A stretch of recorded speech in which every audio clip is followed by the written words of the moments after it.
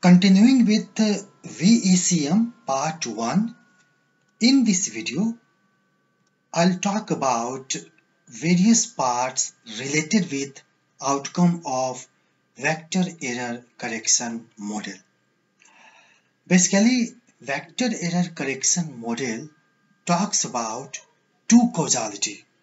One is long-term causality and another one is short-term causality. It means long causality and short-term causality. Talking about the first part is error correction term. Out of four variables, money supply is dependent variable and GDP, interest, WPI, these are independent series or independent variable. Now I'd like to talk about only the target variable which is money supply. So the coefficient of money supply is minus 0.2428 and this 0.1150 is nothing but a standard error. On this value, there is one star. So first and foremost, let's talk about this star value. In RStudio, generally, if there is one star, it means it is significant at 5%. If there are two star, it means it is significant at 1% and so on. So here it means simply that it is significant at 5%. So this term talks about long-term causality. It means it means 24.28 percent is there in terms of long-term causality.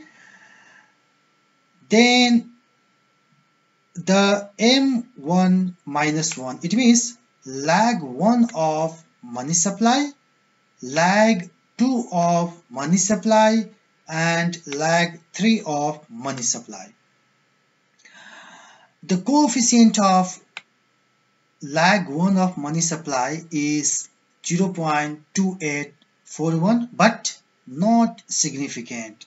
Similarly, at lag 2, value is 0.9637 but it is significant at 5%. Similarly, if I talk about at lag 3, the value is 0.2654 but not significant. It means out of from lag 1 to 3 of money supply, only lag 2 has significant value. It means there is no short-run causality of its own lag on money supply. Then let's talk about another variable which is GDP the value is minus 0.2793 and it is significant at 1%. Similarly, lag 2 of GDP has value in negative but significant at 5% and the GDP at lag 3 it is also in negative but not significant. It means out of 3 lag two lags are having significant value. So we, we can say that there is short run causality on money supply derived from GDP. Similarly, if I talk about interest of lag 1, lag 2 and lag 3, in entire lag there is no significant value.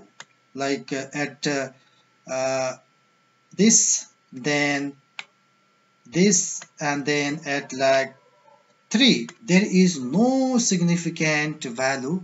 It means we can say that there is no short run causality on money supply derived from interest. And if I talk about WPI lag 1 lag 2 and lag 3 out of lag 1 to 3 lag 1 has significant value lag 3 has significant value but not significant in lag 2 of WPI. It means we can say that there is no short-run causality on money supply derived from WPI. Sorry, uh, we can say that there is short-run causality because out of three lag, there are two lags which have significant value. To sum up, we can say that there is long-term causality on money supply derived from interest, GDP and WPI. But there is short-run causality derived only from GDP and WPI but not from interest and the lag of money supply itself. That is all about VECM in our studio. Thank you very much.